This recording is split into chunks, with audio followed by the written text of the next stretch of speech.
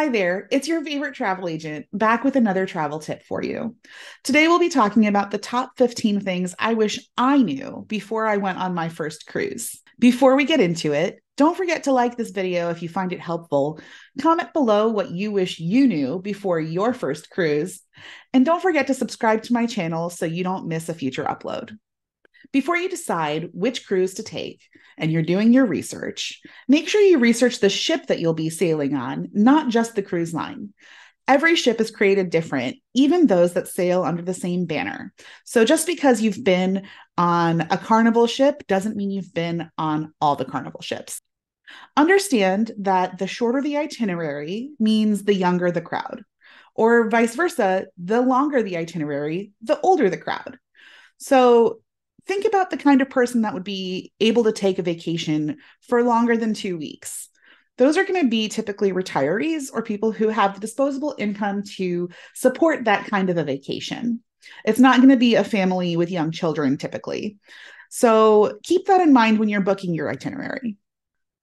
No need to overpack for your cruise because remember, the cabins and closets are small, especially if it's a first time cruise and you're going to be in an inside cabin. You may be surprised by how tight the quarters are.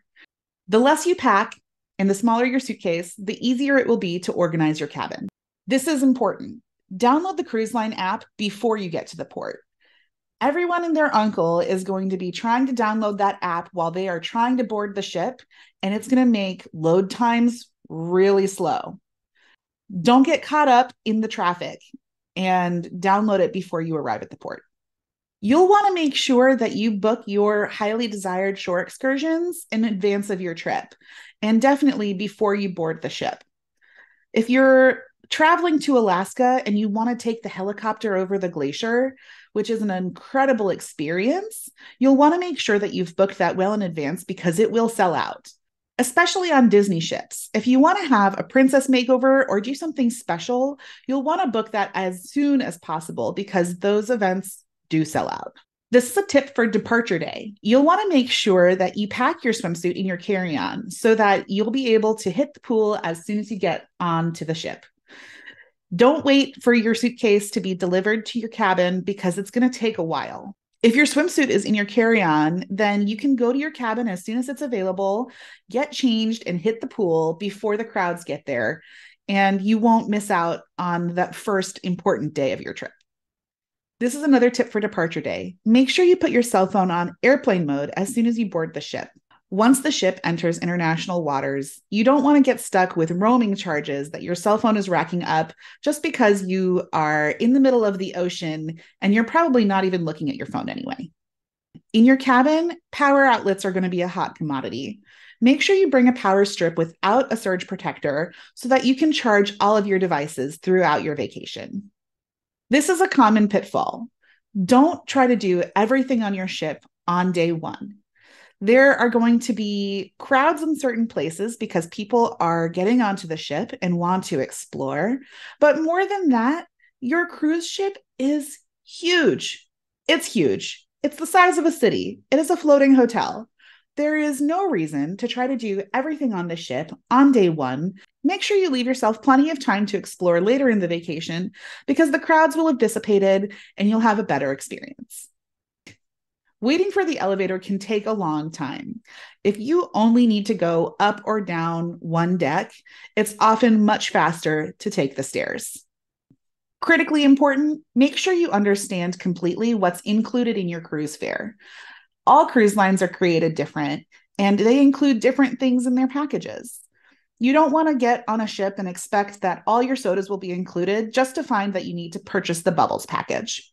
You don't have to worry about tipping people on the ship. Gratuities are paid in a lump sum for almost everyone who is providing you service on a ship. Some cruise lines include gratuities in the cruise fare, but many lines will break it out as a separate line item on your room's charges that you will reconcile before you disembark the ship at the end of your cruise.